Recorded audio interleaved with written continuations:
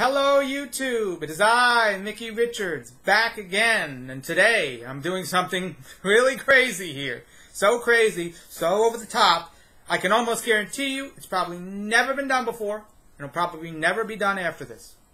So, maybe you've heard in the news, maybe you've heard online, but the fast food retailer KFC is selling a limited time only holiday fireplace log. That's right, a log you can put in your fire, and supposedly it smells like fried chicken. So me being the person who likes to collect stuff, junk, collectibles, you know, I can't help myself, I wanted to buy one. But sadly, I went on the website, and it was already sold out. The day that the media started reporting on this seasonal log, claiming it's available, it was already sold out. It had sold out the night before any news organizations had even covered it. So there was no chance of me getting one. I looked on YouTube, there were no reviews. I looked on eBay, couldn't find any for sale. So I said, you know what? Why don't I make my own? Oh yeah, that's where this comes in. This is not just any old log. Well, it is. But this is going to be used to make my special, homemade, do-it-yourself KFC fire log. A log with 11 herbs and spices that hopefully smells like some sort of fried chicken or just smells good. Yeah. This is a piece of horse chestnut, if anyone's wondering. Not related to American chestnut or Chinese chestnut. I think it comes from Asia or Europe. And it naturalized in the United States. So this is a piece of horse chestnut. It's probably cut like two years ago. Although I've cut some of the ends off recently. So I'm going to take this log and I'm going to season it. But I said, why stop there? Why not take it a step further? Yeah, bam, canola oil. And by the title, you know what I'm going to be doing with this. I'm going to deep fry this log. That's right. Not only am I going to add herbs and spices to this, but I'm going to deep fry it like a piece of fried chicken and then attempt to eat it. Oh yeah, in a previous video, you should check out in the link below, I deep fried a Holy Bible. Now I'm deep frying a KFC log. That's right, a homemade KFC log. Yeah. And I'm not going to use just 11 herbs and spices. That'd be too easy. I'm using 15. 10 and a 5. 15 herbs and spices will be going into this deep fried, do-it-yourself KFC log. Alright, let's get started. So the first thing we have to do before we can fry our log is we have to make the batter. So, I'm going to start off with two cups of flour.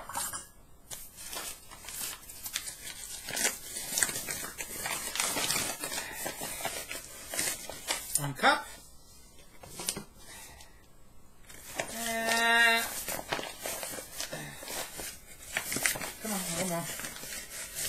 Two cups. I don't know if this will be enough for the, um... I'll add one more cup. Three cups, why not? Three cups. That's what I meant to say from the beginning. Three cups. Three cups of flour. Yes. Then, you need one teaspoon of salt. More if you'd like it. You have some salt here. And we got a teaspoon. There we go, a little more. Oh well, it'll add flavor. This is not an exact recipe, because it's a log, and nobody's really deep fried a log before, so a piece of wood from a tree. So, and then we have baking powder. We're going to need two teaspoons of baking powder.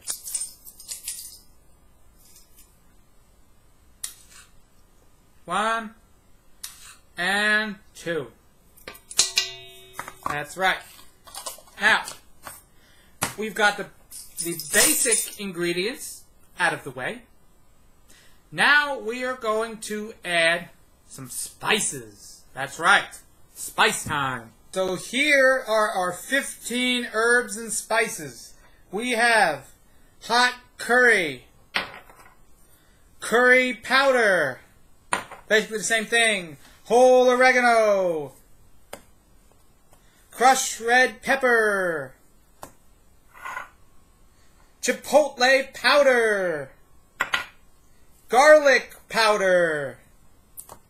Parsley flakes. Ground cloves. Cumin, I'm cumin. Coriander. Turmeric root. Pumpkin pie spice. Lawry's seasoning salt. Onion powder. Who doesn't love onion powder? Ground cinnamon. And to top it all off, we got some maple syrup I can throw in there. Now that we have everything in there, we have to mix it up a little. Get it nice and mixed. Just mix it in there.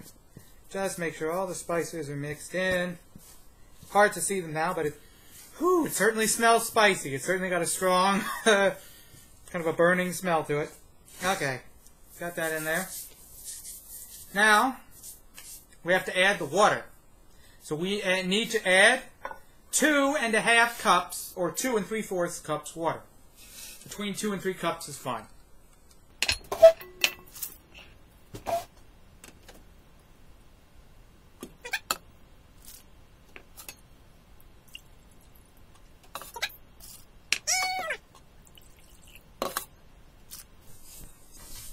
And we're just going to mix it together a little bit.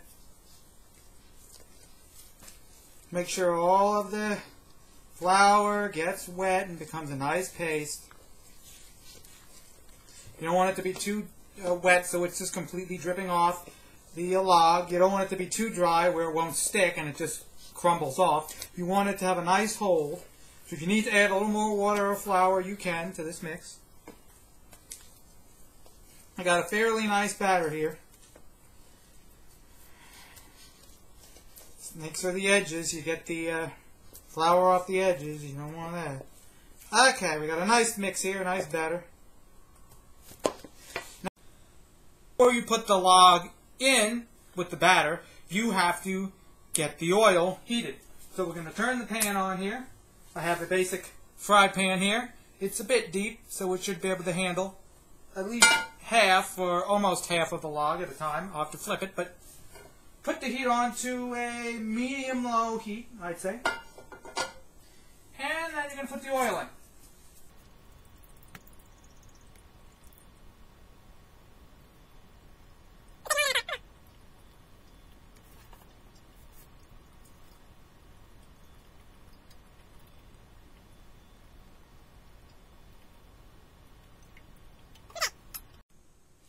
Now, as you can see, pan is filled with oil, and it is slowly heating up. So, in the meantime, while we wait for it to heat up, we're going to dunk the log in its fried spice batter mixture. Oh yeah. Now this is the messy part. We have the mix here, we have the log here, and we just got to dunk it in. Sorry about the camera angle here, I don't have anyone to help me, and screw getting a tripod. As you can see, the whole thing is coated here. That's nice. Yeah. Hmm. Oh, yeah. Oh, this is gross, but you're going to get that in wet. You want to get the ends too. You can't leave the ends dry. And, oh, get this end. And make sure that all of it is lusciously coated like you were frosting a cake. You want to make sure that none of this is unexposed or exposed. You just want to make sure you've got nice copious amounts of fried batter on there. You want a nice fried log. Now, we're going to put the log in the pan. There we go. And we're just going to let that cook a little. So as you can see, the log here is cooking quite nicely. I'm glad I didn't fill up uh, the pan with the rest of the oil. Because the log is fairly heavy, so obviously the water rises when you put the log in, so it would have probably overflown, which is the worst thing I need is a grease fire or something of that nature, right? I don't need spilling oil getting onto a flame. I don't need that. So there is enough room so I don't have to worry about it overflowing, and the log is in there nicely. And soon the log will hopefully soak up some of the oil. Also, unlike last time, where I burned the Bible I was cooking, check the link below if you want to see that video of me deep frying a Holy Bible. But in that video, I stupidly thought that the oil had to be boiling before you put something in there to cook. When in reality, when you put an item in there, that's when it starts boiling, when it reacts with the batter. So, this time, hopefully, I won't burn this log, and it'll be a nice golden brown, crispy KFC log. Let me just see here. Yeah, it's getting there. It's getting a little darker, but it's not ready yet. Still needs time.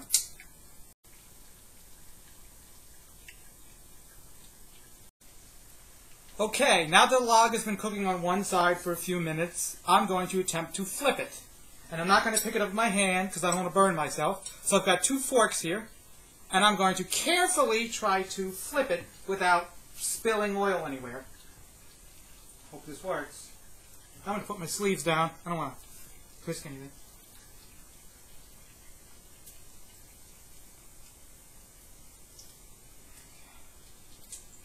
Nice. Ooh. Nice. Yes. Didn't uh, flip it all the way. There's still this side. You can see this side is nicely cooked. And this side still needs work to do. But the bottom here is getting nicely cooked. So I've just managed to very delicately flip it the third time. So now all sides have been under the fryer. The final side is under the fryer now, cooking. So it looks kind of white. It's not very golden brown yet. So I'm going to flip it again, and each side is going to get a second time underneath the oil. So hopefully in a few minutes, after flipping it carefully, so I don't spill hot oil everywhere, this will be a nice golden brown, tasty fire log. Oh yeah, look at that nice golden brown KFC chicken looking color. Mm-mm, this thing's almost done. So I've taken the chicken out of the pan and I've put it on this plate here with some paper towels so to catch any of the drippings, right?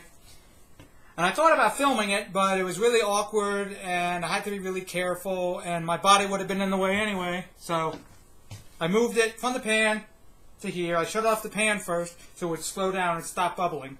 Then I lifted it and I moved it to here. So it's going to sit for a few minutes, 10 minutes maybe, let it cool down. And then we're going to see how it tastes. And here it is. That's right. I've given it plenty of time to cool. I've removed the paper towels, which were soaking up the leftover oil. And now we have a beautiful, warm, golden brown, deep fried holiday log. That's right. There's a piece of wood underneath this. And it's completely deep fried, even on the edges. Oh yeah.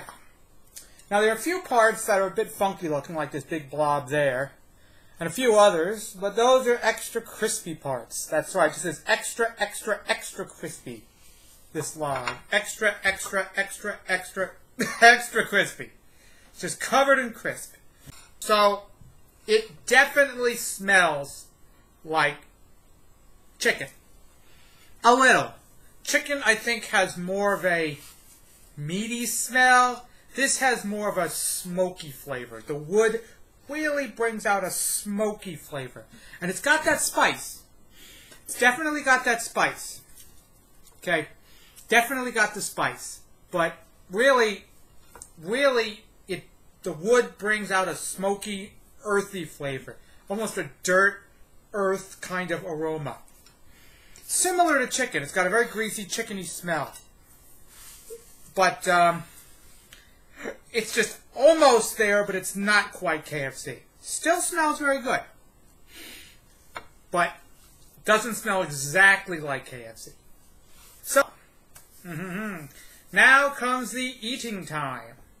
Oh yeah, this might get a little messy, so warning, might be gross. But let's give it a try here. This is my do-it-yourself, homemade KFC fire log. You can burn it by the fire if you want to, or you can eat it because it's deep fried. And it has 15, 5, and 5 more. Plus the maple syrup, so it's technically 16 herbs and spices. That's right. Let's dig in. I don't even know how to start with this. Mmm. Mmm. Mmm. Mmm. 嗯嗯嗯嗯嗯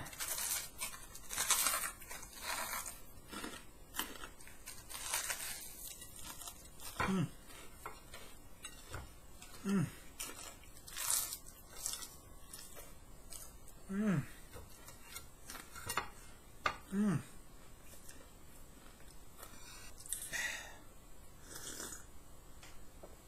Need some water to help me with this. It's pretty tough, pretty woody tasting.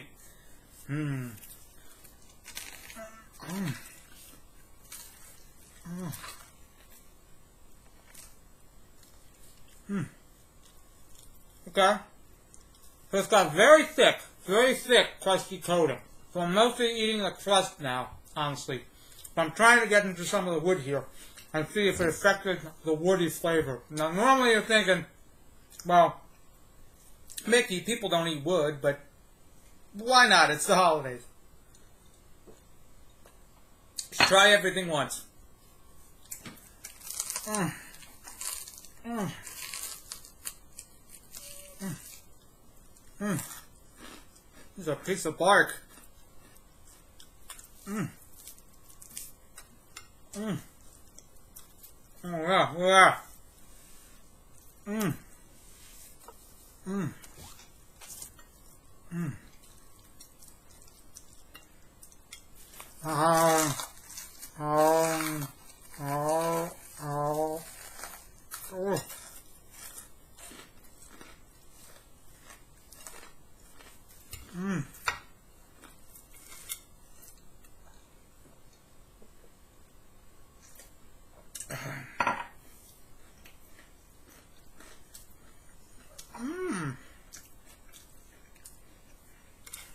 as Joey's World Tour would go.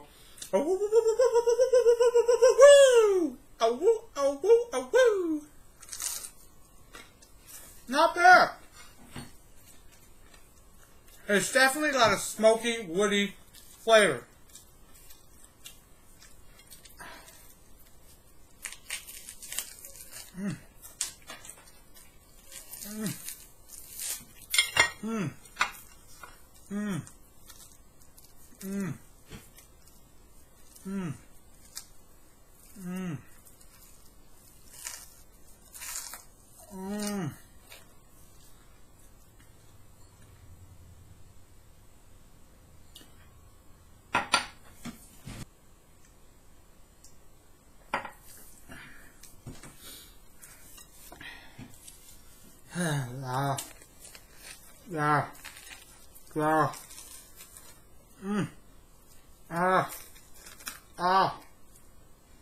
Oh. This is pretty tough to chew through. If I had beaver teeth, this might be a bit easier. Um. Mmm. Oh, yeah. Mmm. Oh. Ah. Hmm. That is like a burl here. Piece of knotty wood. Oh. うん。うん。うん。ああ。ああ。ああ。ああ。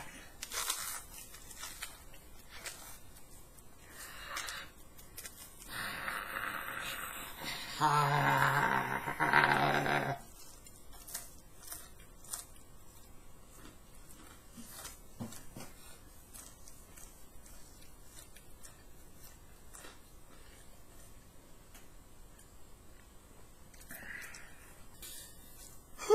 This is a lot of food, and I don't think I'll be able to finish it, but um, I'm taking a stab at it here. And, um, you know, it's very hefty. So, I think I'm done eating most of it for now. And I think I'm just going to review. Hope I'm not a mess. Probably am. But I'm just going to review it now.